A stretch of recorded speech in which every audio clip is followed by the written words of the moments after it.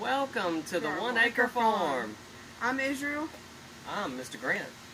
and today we're doing an update showing you what I bought today um, from a friend of his. Friend. I got a good deal. You want Real to see deal. this? Come over here. So the first thing I got would be well, I can see this pomegranate tree. It's in this real small pot. You can look in the bucket. I have a little bit of water in there just to, just to keep the roots soaked. Make sure it gets a little bit of water. I'm gonna take it out of that t- tomorrow tomorrow and plant it. It's looking up pretty overcast right now. Um, but it's got two blooms on it as you can see, and it's looking great. But I got a good deal on that, seven dollars.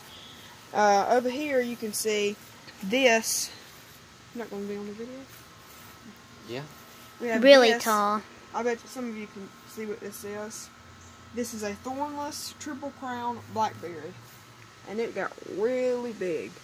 Um, got this for five dollars, Five dollars. and it is What a deal, what a deal. great. So, got this today. Just wanted to say hey and show my great deals. Great deal. Yeah. We love them.